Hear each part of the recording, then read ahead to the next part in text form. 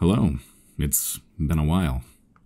But as a mega fan who just left the theater, I felt I had no choice but to shut off Idolmaster and come out of hiatus to bring you a quick, spoiler free review of Resident Evil Welcome to Raccoon City.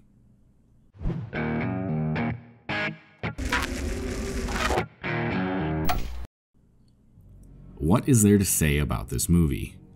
Well, to give you an immediate idea of how I feel, I don't look down on Paul W.S. Anderson as much as I did a few hours ago. That's not to say I entirely hated this adaptation, because I didn't. There are actually some redeeming qualities to it. But those qualities are quickly overshadowed by the bizarre choices that went into making this film. The story takes the plots of the first two Resident Evil games and mashes them together into a single film where the events happen simultaneously. As you can imagine, the 107 minute runtime isn't quite enough to fully capture the necessary elements from those respective stories and paint a clear picture. It also didn't allow us to spend any meaningful time in the mansion, the police station, or Raccoon City proper.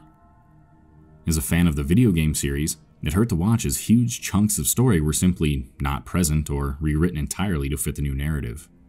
If the clunky plot left me confused, I can't imagine what the average moviegoer with no ties or prior knowledge of the series must have been feeling.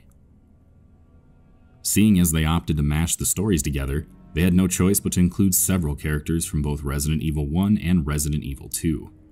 Seeing this in the trailers had me worried that fleshing out such a large cast in a single movie likely wasn't going to happen. And it didn't.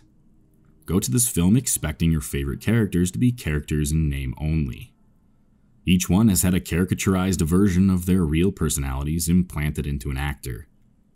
The acting itself was either nothing to write home about or dangerously cheesy. It was impossible to tell if that was by design as homage to the old video games or not. But either way, it wasn't quite landing. Visually, the film wasn't bad.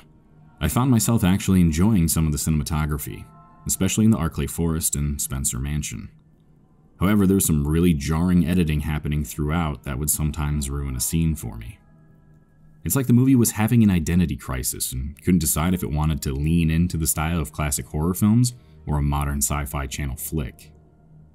Both the practical and CGI effects would shine brilliantly in some scenes and turn around to fall flat in others. I must say, overall, the zombies did not feel very Resident Evil to me, if that makes sense.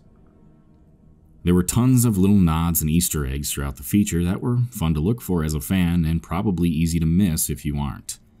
That said, it got to be a little much in some of the scenes. I won't go into specifics, but goddamn, subtlety is key. I think one of the most important things I was looking for is whether the movie was scary or not. I mean, Resident Evil is what kickstarted my horror obsession as a child. It has, in some way, shaped the course of my life. It's what led to you being able to watch this video right now. And I hate to say it, but this movie just wasn't scary. Like, at all. I understand that I'm being pretty critical, but what did you expect? It's a disjointed film that tries to cram too much into too little and almost completely fails to capture the spirit of its source material. In all fairness, that's pretty hard for any video game adaptation to accomplish. All I really wanted was a coherent Resident Evil film that surpassed the previous attempts, and I'm not sure I can say that it did. But hey, at least there's no fucking Alice,